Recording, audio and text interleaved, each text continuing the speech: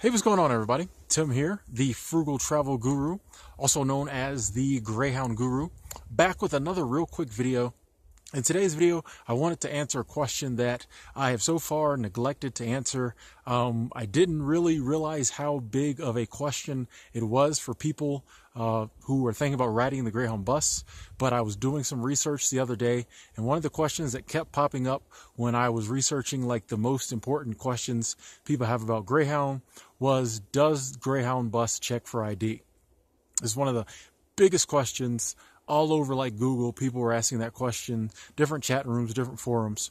So I just wanted to make a real quick video, answer that question, and I just wanted to say that every time I've ridden the Greyhound bus, with maybe the exception of once or twice, they have checked my ID.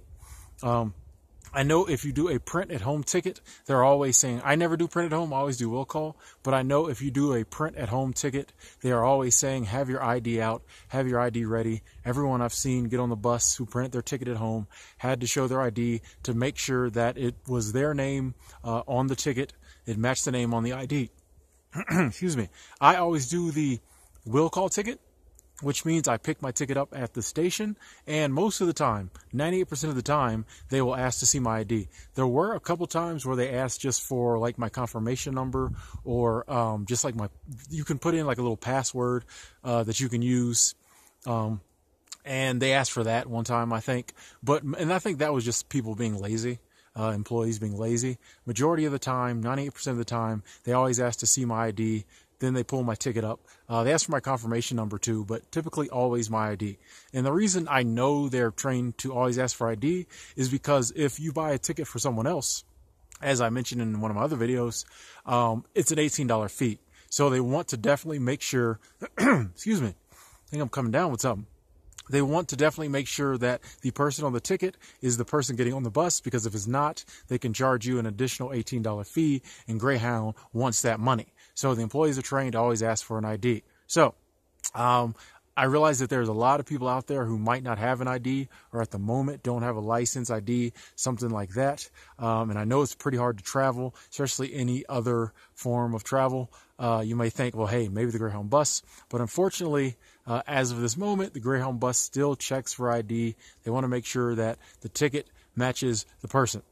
Now, when it comes to the new e-tickets, which they're rolling out, I'm assuming they check your ID for the e-tickets as well. I can't comment on that because I've never used it. Hopefully, I can change that sometime soon uh, when I do my next trip, uh, Greyhound trip. But I'm assuming they probably still check ID even with the e-tickets because they want that money if you, if your name and your ID does not match. So yeah, if you're planning on taking a Greyhound trip and you're thinking, well, I don't have an ID, Greyhound won't care. They don't care about anything.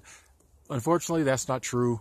They most of the time will check your ID you're going to have to have some form of driver's license, some form of state issued ID, um, passport. I'm sure it will work. Um, I don't know about school ID, things like that. You could probably go to the Greyhound website, check that out. I would say call Greyhound and ask, but um, you might could try calling your local station, but sometimes they answer, sometimes they don't. Customer service, it's a toss up. Uh, but just plan on having an ID if you're going to ride the Greyhound bus. All right, I'm Tim. Frugal Travel Guru. I am about to uh, close this video out. Not going to make it a long 10 minute one like I usually do.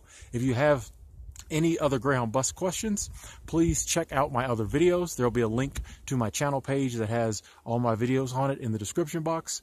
Uh, also, you can check out my website, greyhoundbusguru.com. Check me out on social media. That will be in the description box as well, as well as some articles I wrote about the Greyhound bus if you prefer to read as opposed to looking and listening to me. Um, yeah, but thanks for watching. And if you have uh, any questions I haven't answered, the Greyhound bus, or you just want to share some of your Greyhound bus stories. A lot of people do that. Really enjoy reading those. Uh, just put in the comment box below. Let's have a discussion. Let's talk Greyhound. Let's talk other uh, frugal, frugal travel. Anyway, I'm Tim. Talk to you later.